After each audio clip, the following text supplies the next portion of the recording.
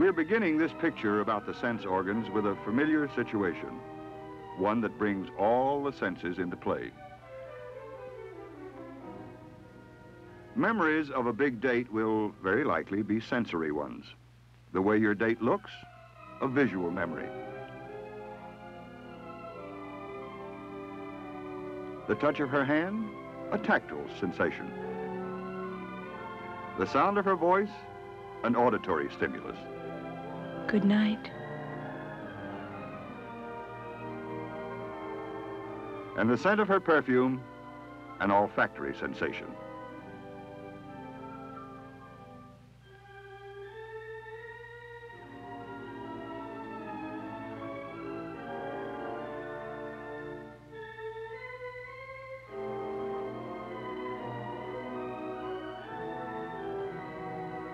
And, uh, oh yes, the taste of her lipstick, a gustatory sensation.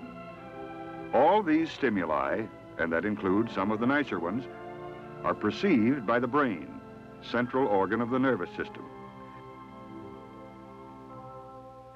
Nerve impulses received by the brain originate in the various sense organs.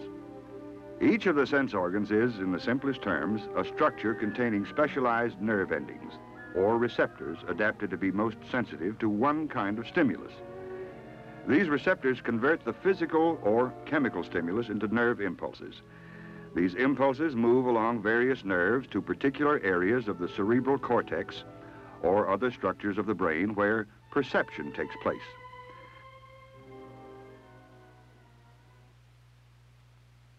Now, let's repeat our demonstration, purely for the sake of science this time. Keep in mind that our objective is to see how nerve endings or receptors of the sensory systems react to certain stimuli in the environment. The receptors within the eye react to the stimulus of light. You probably know the anatomy of the eye already, but simply as a review.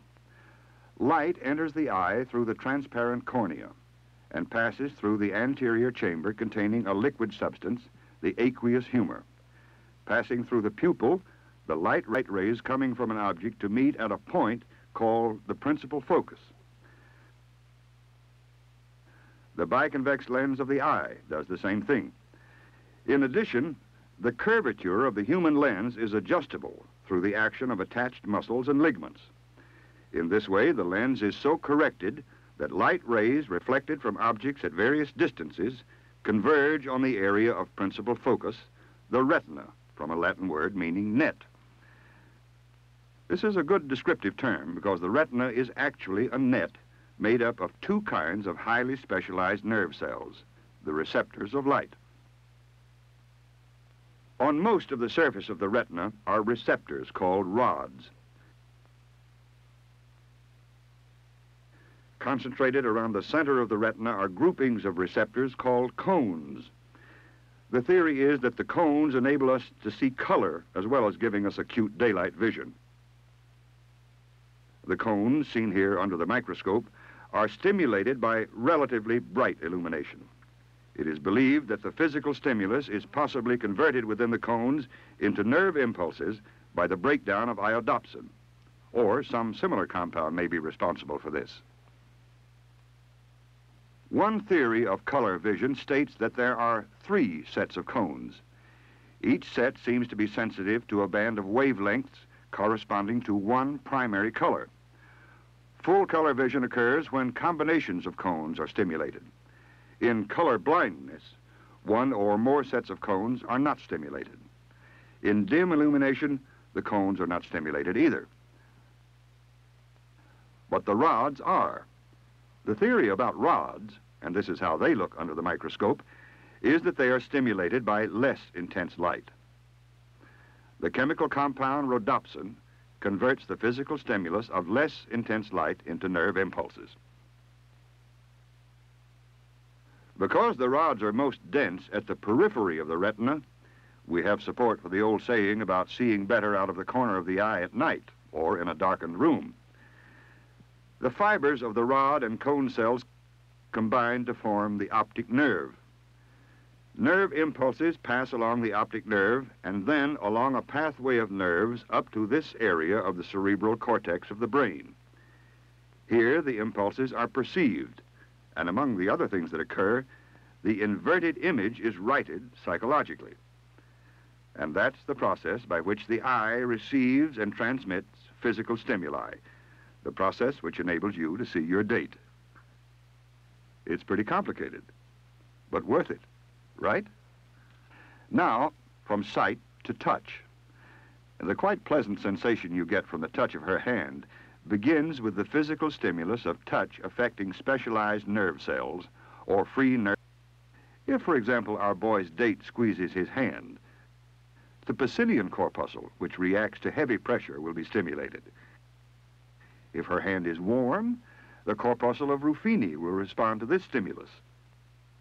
If her hand is cold, Krause's end bulb will probably respond to this stimulus. If she scratches him, a free nerve ending will respond to the painful stimulus. All nerve impulses conveying these different sensations from the skin receptors eventually reach the cerebral cortex in much the same way that impulses travel from Meissner's corpuscle. You may want to keep this specialized receptor, Meissner's corpuscle, and similar receptors in mind the next time you're holding hands, remembering that you experience this sensation through quite a complex process. Now then, where were we? Oh, yes, that special good night. Good night. To the scientist, those words are merely sound stimuli affecting the ear. You probably know the three parts of the ear. The external ear, which has a tube leading to the tympanic membrane, the middle ear, containing three small bones, the auditory ossicles, and another membrane, and finally, the inner ear, named the cochlea for its shape. Cochlea is Latin for snail. The cochlea contains the actual sense organs of hearing. Shifting the position of the cochlea gives a better idea of its structure. This view shows a central pillar of bone around which a bony tube spirals. Slicing the cochlea in half reveals a membranous tube within the bony tube called the membranous cochlea. Let's take a closer look at this tube, which is divided into three compartments called scala. These are filled with fluid. The very important basilar membrane forms the base of the middle compartment. If we could unroll the cochlea and its basilar membrane, we'd see that the basilar membrane is narrow at the base of the cochlea and broadens at the apex, or top. Lying on the basilar membrane is a series of fibers, shortest near the base and progressively longer toward the apex, an arrangement like the strings of a harp. One theory is that waves in the cochlear fluid cause these fibers to vibrate sympathetically to the frequency of a given sound wave. The shorter fibers respond to short, high-frequency waves. Longer fibers respond to medium-frequency waves. And the longest fibers respond to low-frequency waves. Up to this point, the stimulus of sound is a physical one. Changing the physical stimulus involves a structure embedded within the basilar membrane, the organ of Corti. This organ, found at thousands of points along the basilar membrane, is actually a specialized grouping of nerve cells with tiny hair-like projections. The organ of Corti, seen in this specially stained tissue section, is the actual receptor of sound, converting the movements of the fibers of the basilar membrane into nerve impulses. Oh, uh, one more thing about the organ of Corti. Each of the hair-like structures has a connection with nerve cells that eventually combine to form the auditory nerve which carries nerve impulses along to the brain. Now that we've finished with the cram course on the ear, remember that all this goes into action when your girl says, Good night. Skipping the details, sound waves enter the external ear and set the tympanic membrane to vibrating. This in turn causes vibrations of the auditory ossicles. These vibrations set another membrane, the oval window, in motion. This vibrating membrane in turn sets up waves in the fluid that fills the chambers of the cochlea. These waves then cause the fibers of the basilar membrane to vibrate. This vibration stimulates the organ of Corti, which transforms the physical stimulus into nerve impulses, which then move into the auditory nerve. From the auditory nerve, certain nerve pathways carry these impulses up into the brain stem and finally to this area of the cerebral cortex where the sounds are perceived. And that's the process through which the ear receives and transmits sound. In other words, it's the process through which you hear that special good night. So far, we've been talking about senses that involve physical stimuli. But when you smell perfume, chemical stimuli are involved. The specialized nerve cells reacting to these stimuli are located in the upper portions of the nasal cavities, along the inner lining, called the olfactory epithelium. Within the olfactory epithelium, we find a grouping of cells and associated organs. The organs, Bowman's glands, are filled with a liquid secretion. The cells, olfactory receptors, are the actual receptors of smell. Under the microscope, a stained section of the olfactory epithelium shows both glands and receptors. The fibers of the olfactory receptors are called the olfactory nerves.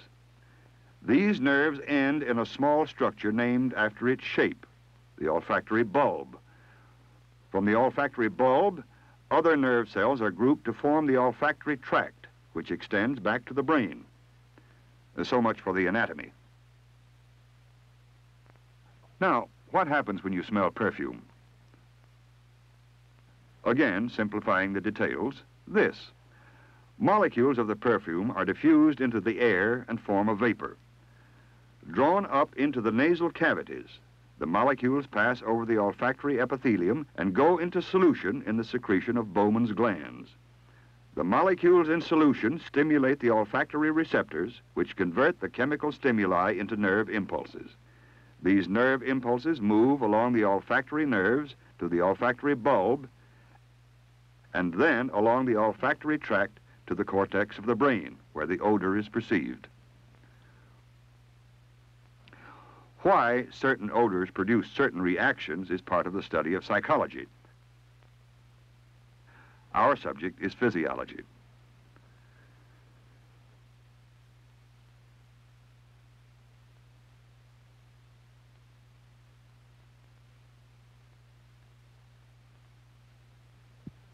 This brings us to another of our chemical senses, the sense of taste.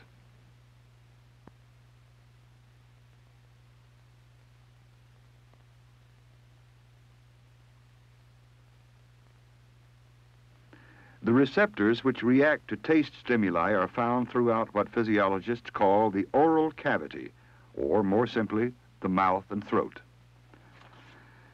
These tiny organs, taste buds, are most concentrated on the surface of the tongue, where they are embedded in tiny projections called papillae. All papillae in this area of the tongue contain taste buds receptive to sweet and salt tastes.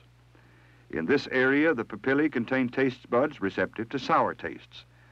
And back in this area, the papillae contain taste buds receptive to bitter tastes.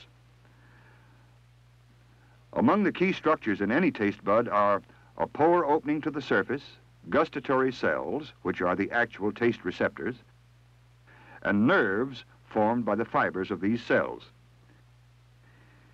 Here's a papilla and taste bud as they appear under the microscope. The nerves of the individual taste bud extend back, depending on the location of the bud, into one of three larger nerves, the facial nerve, the glossopharyngeal nerve, or the vagus nerve. So when you taste lipstick, this is more or less what happens. Molecules of lipstick, represented by dots, go into solution in saliva. The solution enters the pores of the taste buds. Being sweet, it stimulates the gustatory cells in this region. The gustatory cells convert the chemical stimuli into nerve impulses, which, in this case, enter the facial nerve. Through the facial and associated nerves, these impulses are carried up to the cortex where the sweet taste is perceived. With the sense of taste often associated with the sense of smell, we've completed our survey of the sense organs, structures which contain specialized nerve endings or receptors. Each kind of receptor we saw responds to a particular stimulus. It'll take just a couple of seconds to review the various stimuli and receptors. In the skin, specialized nerve endings respond to touch, temperature, pressure, and pain. In the oral cavity, taste stimuli affect the taste buds. In the nasal cavity, odors stimulate the olfactory receptors. In the eye, light waves affect the rods and cones. And in the ear, sound waves affect the organ of Corti. From the specialized nerve endings in the sense organs, nerve impulses travel to the cerebral cortex and other structures of the brain where the stimuli are perceived. So, through the functions of the sense organs, we are able to react to our environment and respond to the world around us.